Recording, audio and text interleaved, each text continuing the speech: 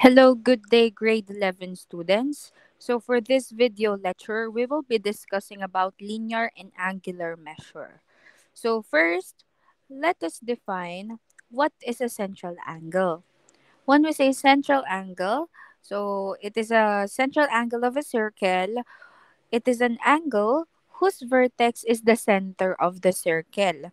And an arc is a part of a circle. So uh, I have an illustration here. So we have here a circle with a center O. Yeah, so that is the center of the circle. We can label it as O. And then we have here two points, A and B, and it forms an arc, and that is called the intercepted arc. So we have here arc AB. Again, it is called as the intercepted arc of the circle.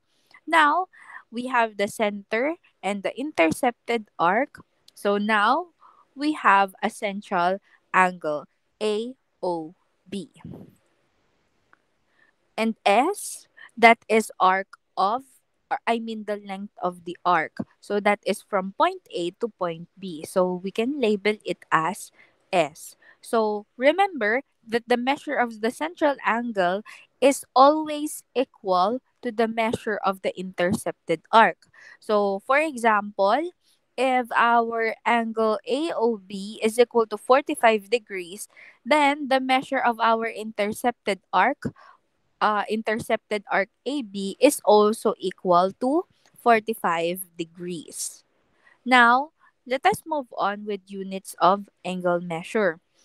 So we have two different units. We have degrees and we have radian. So for degrees, as we all know, it is uh it has this symbol. And then for radian, we we will use the symbol rad. So let us define these two.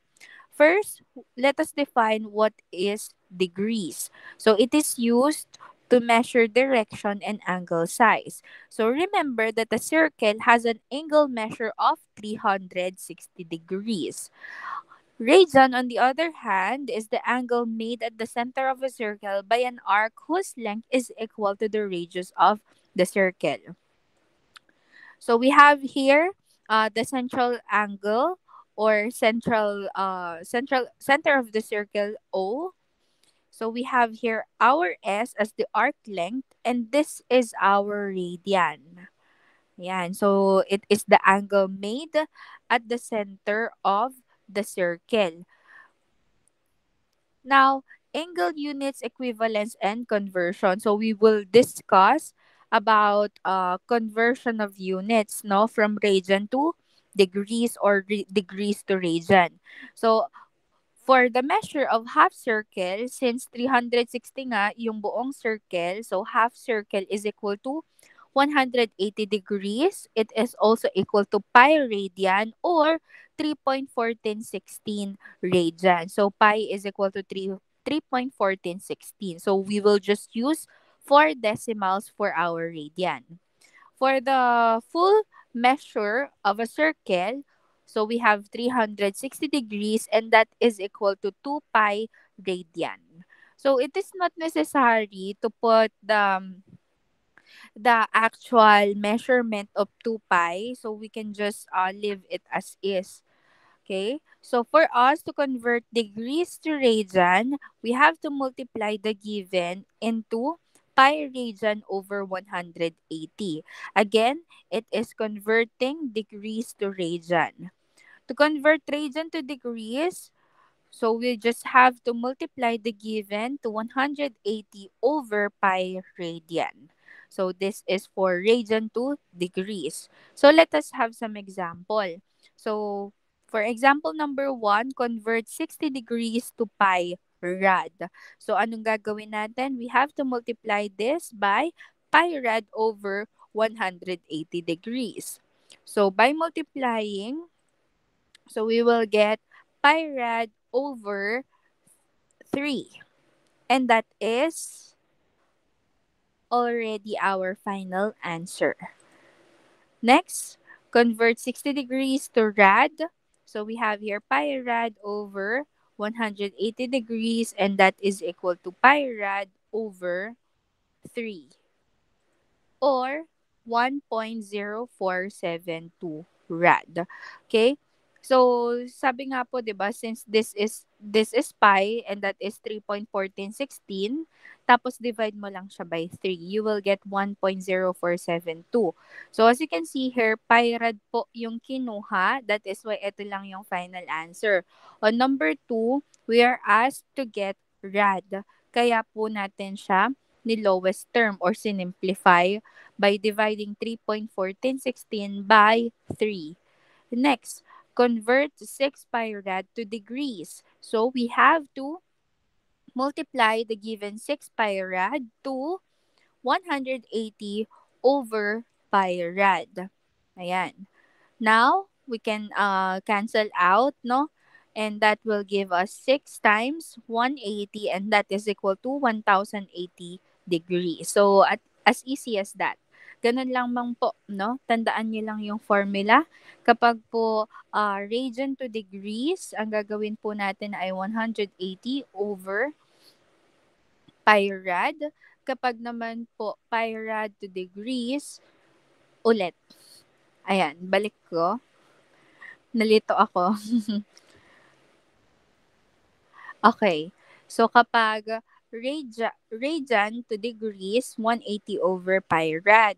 Kapag naman degrees to radian, pi rad over 180 degrees. I hope uh, you understood already. Ayan. Now, let us move on with central angle and intercepted arc. So, the measure of the central angle is always equal to the measure of its intercepted arc.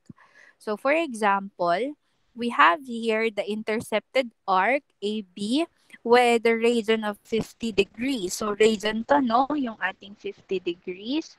So, we are asked to find our intercepted arc. So, that is 50 degrees. Ayun lamang po.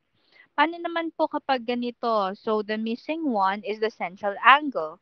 So, our central angle is also equal to 100 degrees. So, tandaan nyo lang po yung ating note that the measure of the central angle is always equal to the measure of its intercepted arc. Now, let us talk about linear and angular measures of central angle. So we have here an illustration. So we have here theta. So we can call this one as theta, angle theta. That is the central angle in radians. R is our radius. So uh, it is in unit length and S is our arc length. So again, it is in unit length. So for our formulas para sa arc length, we can use S is equal to R or our radian multiplied to our angle theta. So, for example, our given region is 4 centimeter and our uh, pi theta or, or our theta is equal to 30 degrees. So, our answer is 30, 30 degrees times pi rad over 180 degrees. Now, we will get pi rad over 3. I over 6, sorry. So, that is 0.5236 rad. And then we have here S is equal to R theta. So we have here 4 cm multiplied to 0.5236. Our final answer is 2.0944. Again, I'll I will repeat so this is the formula for our arc length. Since uh, we are asked here to get our arc length in unit measurement or unit length, so we have to convert 30 degrees into rad, into radius, no?